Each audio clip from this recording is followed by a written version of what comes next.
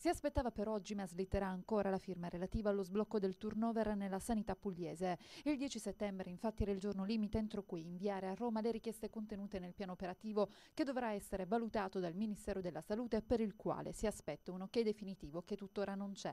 Attendiamo la convocazione del tavolo, ma non abbiamo ancora una data, spiega Vincenzo Pomo, dirigente regionale dell'area salute. E questo nonostante il 23 luglio scorso siano già stati certificati sia l'equilibrio di bilancio delle ASL regionali sia sia la radicalità del processo di riqualificazione del sistema sanitario, facendo passare la valutazione della Regione Puglia dai 70 punti del 2010 ai 123 del 2011.